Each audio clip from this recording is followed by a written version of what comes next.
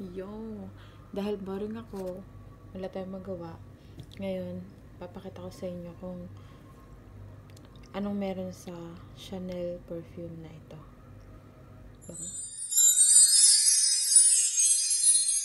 Ay, alam niyo ba kung bakit mahal yung Chanel na pabango? Ang nagpamahal sa kanya ay ito. Tingnan niyo.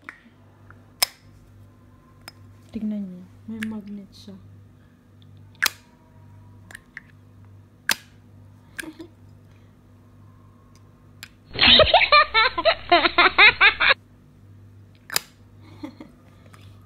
Di ba? May magnet. Teo. Kasi yung sa alaga ko, yung Chanel niya, ay 61 KD. Nasa 10,000 siya mahigit.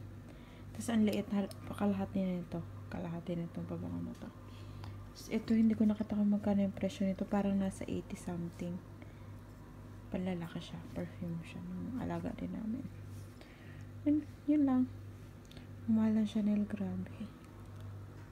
So, ayun. Nakita nyo naman, di ba? Yung dahilan ba't mahal yung Chanel na pabango.